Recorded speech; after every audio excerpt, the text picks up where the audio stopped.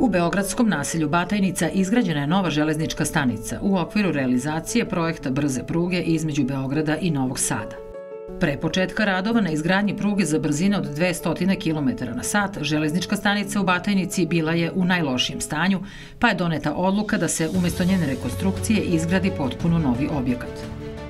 Nova stanična zgrada u Batajnici na brzoj pruzi počela je sa radom 20. marta 2022. godine, kada je uspostavljen redovan putnički železnički saobraćaj između Beograda i Novog Sada vozovima brzinom od 200 km na sat.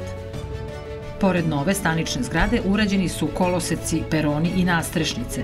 Izgrađen je pothodnik i lift koji omogućava brže i lakše kretanje kroz stanicu. Takođe, postavljene su nove klupe, stanični mobilijar i elektronski redovi vožnje. Kroz železničku stanicu Batajnica svakodnevno saobraća 57 vozova. Iz Batajnice ka Beogradu i Novom Sadu svakodnevno u aprilu saobraća po 9 regio i po 2 regio ekspres voza u oba pravca.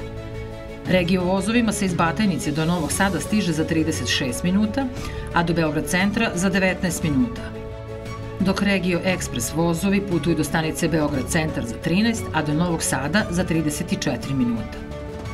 Pored toga, nakon što je od 28. marta 2022. godine ponovo vraćen u redovan saobraćaj IBG voz na relaciji Batajnica-Ovča, nova železnička stanica u Batajnici još je više dobila na značaju, jer iz ove stanice ima 24 polaska ka Ovči, dok 22 voza iz Ovče stižu u Batajnicu. U novoj staničnoj zgradi mnogo bolje uslove za rad dobilo i železničko osoblje, a ispred stanice je uređeni stanični trg koji ulepšava ovaj deo Batajnice.